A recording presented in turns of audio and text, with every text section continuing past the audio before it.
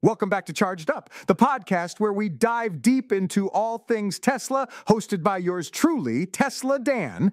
Today we're talking about the latest spring update, 2024.14, for Tesla Intel vehicles. Tesla recently announced that this update would bring some exciting visual changes, but initially only for the Model 3 and Model Y with Ryzen processors. However, the update is now starting to make its way to vehicles equipped with the older Intel Atom processor. So, what can Intel vehicle owners expect from this update? Let's break it down and see how Tesla is continuing to innovate and improve its vehicles for all its customers. This podcast was co produced by Daniel Aharonoff and Mogul Media AI.